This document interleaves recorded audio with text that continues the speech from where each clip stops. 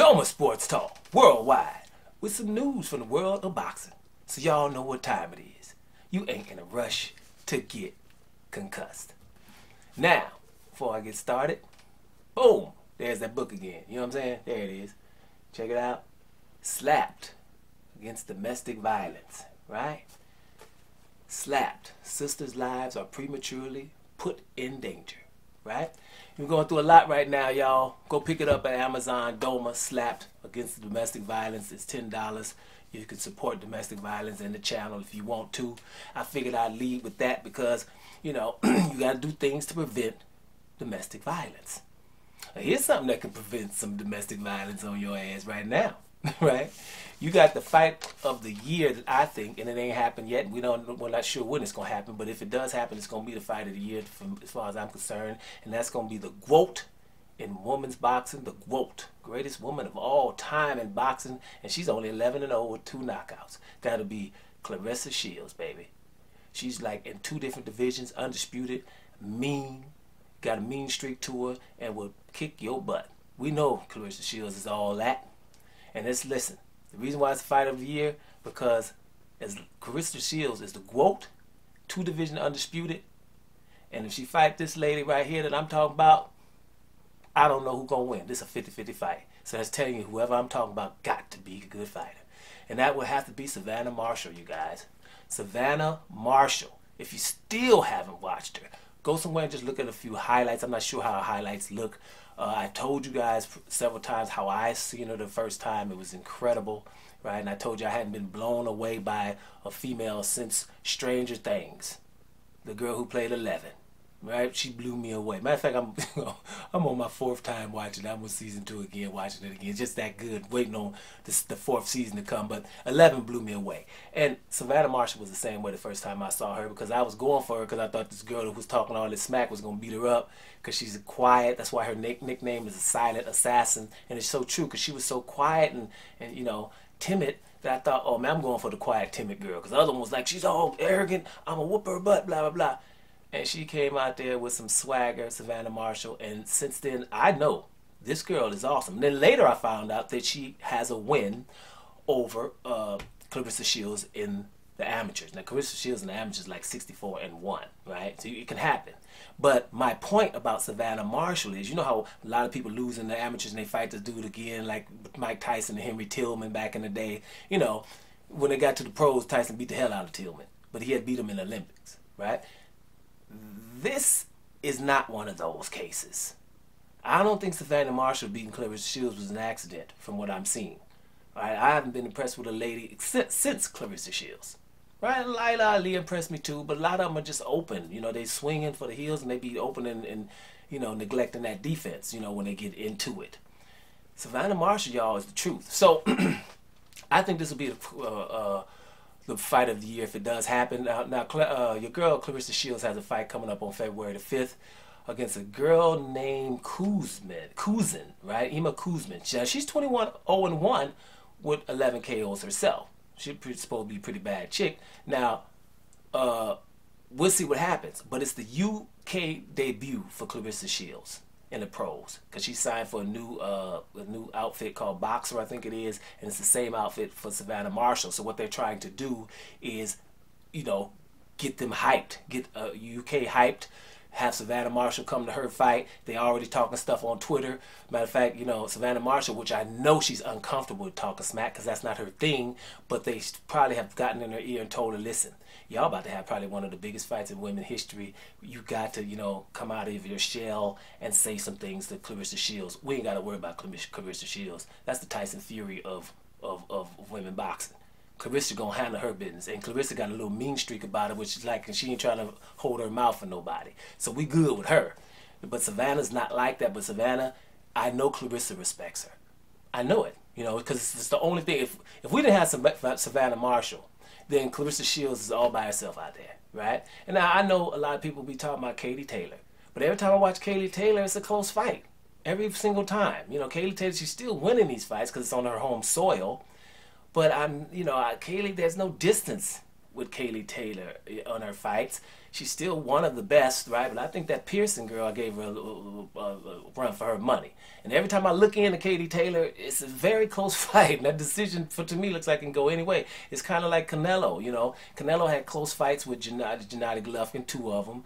Uh, a close one against Lara, a close one against Trout, a close one against Danny Jacobs. He was behind against Kovalev, behind against Billy Joe Saunders, and behind against Plant. Now, those behind, yeah, I know a lot of people like, so what? Well, you was, because he came back and knocked all of them out. Billy Joe Saunders, Kovalev, and Plant. So you know, you know, hats off to Canelo for handling that. But he does have a lot of close fights and stuff like that. Now, I know you know the records uh, for Shields is 11 and 0 with two KOs. Savannah Marshall's 11 0 with 9 KOs. She got a little bit more punching power. And somebody in one of the camps, I think Claressa Shields camp or somebody camp, was saying this is like uh, your boy Sugar Ray Leonard versus Tommy Hearns. One. And it really is. It really is. There's so many similarities.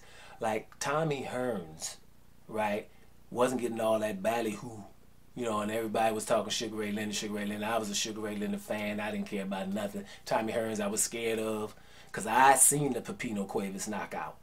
I seen you know, I'm like, how you to knock out Pipino Cuevas like that? Ain't nobody knocking out Pipino Cuevas like that, right? And Tommy Hearns had a mean strength, thin, you know, because Tommy Hearns was like Deontay Wilder before Deontay Wilder. And he was, you know, thin, long, but was like eye knocking people the hell out. So we were scared for Sugar Ray Leonard, but that was the very first time that Sugar Ray Leonard, Sugar Ray Leonard come out there scared of Thomas Hearns at the beginning and dancing around and stuff. Found out Tommy Hearns is quick enough to still reach him. Closed up Sugar Ray Leonard's eyes, but Sugar Ray Leonard did. That's why Sugar Ray Leonard is a legend to today. That Tommy Hearns fight because he had to put them hands up. You're blowing it, son. You're blowing it. His trainer told him the great uh, my man I oh man I, I don't remember his name that's ridiculous but anyway his trainer told him at the time you're blowing it. And Sugar Ray put them hands up and had to come forward against Tommy Hearns. And had Tommy Hearns, after he got hurt, Tommy Hearns, he had Tommy Hearns dancing. Matter of fact, matter of fact, Tommy Hearns could, could outbox too. That was a, a big bad fight. Now I would think the equivalent is Claressa Shields as Sugar Ray Leonard, right? You know, bunches and bunches and this and that. Savannah Marshall got more knockout power and is a little bit taller, thin, but with knockout power. It's very similar. It's the best fight in in the uh, in, in, in women's boxing for sure, and it's probably the best fight period. Cause all the fights of the men's we ain't getting them. Like let me be honest, every fight that I want to see, I can't. Right? So I'm saying that's why this fight gets my juices flowing. You know, the fights that get my juices flowing, like really where I'm happy a month before, would be Luis Ortiz versus Dillian Whyte. I can't see it. Canelo Alvarez versus Demetrius Andrade. It should be about damn time. It shouldn't exist that that's not can't happen when the dude has been at 154 with Canelo, 160 at Canelo, want to go up to 168 to face him, and can't, and been a champion the whole time. Seven years. Right next to you in parallel universes because they letting Canelo just have his own universe and don't have to fight these dudes. I like to see Canelo and Andre. I ain't gonna see it, probably never. You know what I'm saying? I wanted to see Anthony Joshua versus Deontay Wilder. Couldn't see it. Everybody arguing why they shouldn't fight. Two big old dudes. Anthony Joshua just a big old behemoth. And he just said the other day, I do everything calculated. Yeah, I know that. Tell your fans that you do everything calculated. Because you was calculating not to fight Deontay Wilder. That's when you calculated that. Yeah, I don't have to, then I ain't. That's what Canelo is doing the same thing. If I don't have to fight somebody and the media don't tell me that I got to, I ain't. Right? Period. Right? And another fight that um that I want to see is uh, uh Devin Haney versus Kambosos because for undisputed, right? Probably won't get to see it. I'm hearing rumors that it's supposed to be happening, but uh, whatever. If there's a possibility to not do it, they won't. Now, Shields and Marshalls both haven't had that many fights, but neither did Lomachenko or Rigondeaux. You know, when you're good, you're good. You're going to handle your business early and get out of the amateurs and start beating up the dudes who's already been there forever because you that's great. And Shields and Marshall are that great, right? So um, let's just see what happens. I want to say this about Canelo one more time. You know, we got people that would rather, like DAZN, would rather lose money and then forcing Canelo to fight somebody hard. If you paid Canelo for 10 fights, 365 million, right? 365 million. And you ain't telling him exactly who the hell he got to fight. He's able to tell you, even though you signed Demetrius Andrade, I ain't fighting him. even though you signed Gennady Golovkin, I ain't fighting him. Then they paid Gennady Golovkin and gave him some of the company. And he was able to say, I ain't fighting Demetrius Andrade. I just ain't. Right? So the company, I'd rather lose money on these two dudes. And they still don't think about, hey, well, you know what? We still have Demetrius Andrade on the contract. So what we're going to do, since we ain't these we paying all this money, we're going to tell on on Canelo and Gennady Golovkin and tell the world what they're saying behind negotiations that they don't want to fight this guy, and we'll make him the star, right? Because we're going to tell the truth. That won't happen either. We'd rather you lose money than tell the truth and make Demetrius Andrade the star. But don't worry about it. He's a star here. I don't give a damn about what the people talking about. Y'all know that anyway. So I, that's what I'm saying. I watch boxing to, you know, the best should be fighting the best, and that's all it should be. But uh, it's just not that way. So guys, while we're looking at this men's boxing, that's all we really to look at. You know, I don't really look at that much women's boxing.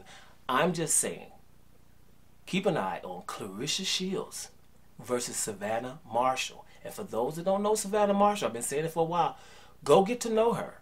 And you will realize that that's going to be a big fight and a good fight. And the winner of that coming out of that is going to be the very, very best.